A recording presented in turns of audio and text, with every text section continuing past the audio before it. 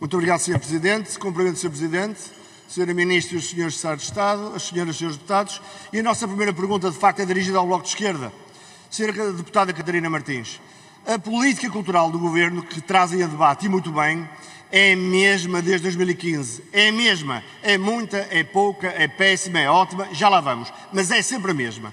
E esta política, que é sempre a mesma, foi sufragada, validada e apoiada pelo Bloco de Esquerda sem rebuço. Ou seja, foram aprovados sucessivamente vários orçamentos sem colocar como condicionante, linha vermelha, impedimento, qualquer medida cultural. E aqui chegados, por uma vez estarei de acordo, Sra. Ministra, uma vez sem exemplo, e eu tenho que perguntar o que é que aconteceu ao Bloco. Se a política é sempre a mesma, boa ou má, o que é que mudou? O Bloco? É a mão na consciência ou é falta de vergonha? Muito obrigado.